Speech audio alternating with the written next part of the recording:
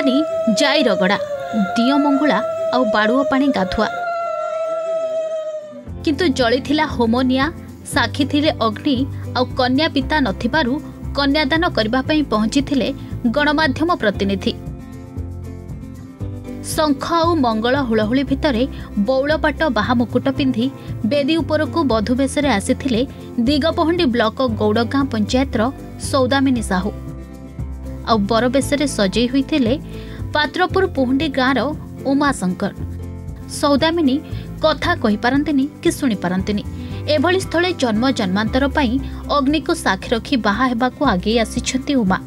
ଉମାଙ୍କ ଏଭଳି ନିଷ୍ପତ୍ତିକୁ ସ୍ୱାଗତ କରିଛନ୍ତି ତାଙ୍କର ବନ୍ଧୁ ଦେବରାଜ। ଶୁଣନ୍ତୁ ଉମାଶଙ୍କର ହେଉଛି ମୋର ଘନିଷ୍ଠ ବନ୍ଧୁ। ସେ ଯେହେତୁ ଗୋଟେ ଭିନ୍ନ କ୍ଷମକୁ ସେ ଗ୍ରହଣ କରିଛନ୍ତି ସେଥିପାଇଁ ମୁଁ ବହୁତ ଖୁସି। ଏମିତି ଆମର ସମାଜରେ ବହୁତ ଭିନ୍ନକ୍ଷମ ଅଛନ୍ତି ଯେଉଁମାନେ କି ଝିଅ ହେଉ ବା ପୁଅ ହେଉ ସେମାନେ ମ୍ୟାରେଜ୍ କରିପାରୁନାହାନ୍ତି କି ସେମାନଙ୍କର ସମାଜ ଗଢ଼ି ପାରୁନାହାନ୍ତି।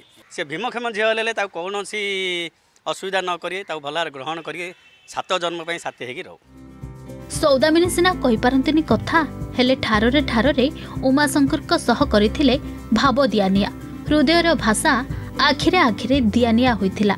ପିଲାଦିନୁ ପିତାଙ୍କୁ ହରାଇଥିବା ଦିବ୍ୟାଙ୍କ ଝିଅକୁ କିଏ ବାହା ହେବ ବୋଲି ସୌଦାମିନୀଙ୍କ ପରିବାର ଚିନ୍ତାରେ ଥିବାବେଳେ ଉମାଶଙ୍କର ଦେଇଥିଲେ ସୌଦାମିନୀଙ୍କ ପ୍ରେମର ସ୍ୱୀକୃତି। ତିନି ବର୍ଷ ଧରି ଉମାଙ୍କୁ ସୌଦାମିନୀ ଜୀବନଠାରୁ ଅଧିକ ଭଲ ପାଉଥିଲେ।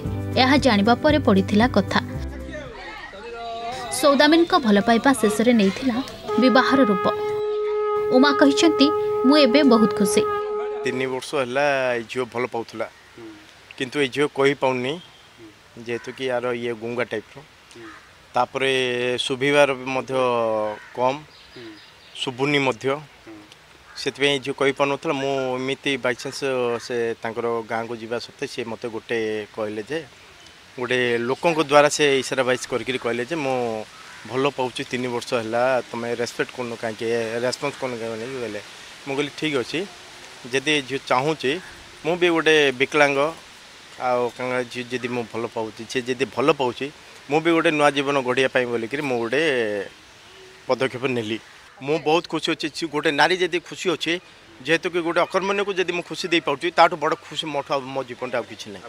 ପରିବାର ଅତିଥି ଆଉ ସମ୍ପର୍କୀୟଙ୍କ ଉପସ୍ଥିତିରେ ସମ୍ପୂର୍ଣ୍ଣ ବୈଦିକ ରୀତିରେ ହୋଇଥିଲା ବିବାହ। ପୁରୋହିତ ପଢ଼ିଥିଲେ ମଙ୍ଗଳାଷ୍ଟକ।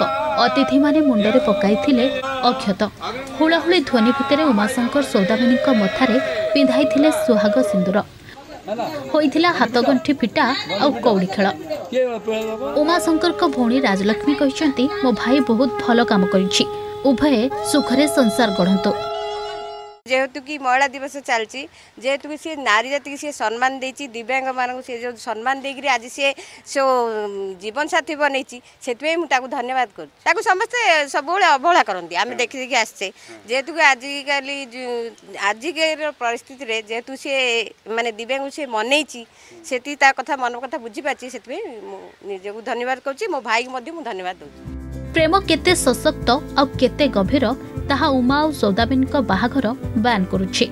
ବ୍ରହ୍ମପୁରରୁ କ୍ୟାମେରାମ୍ୟାନ୍ ଶୁଭେନ୍ଦୁଙ୍କ ସହ ପୀତାମ୍ବର ନାହକଙ୍କ ରିପୋର୍ଟ ଅର୍ଗସ୍ ନ୍ୟୁଜ୍।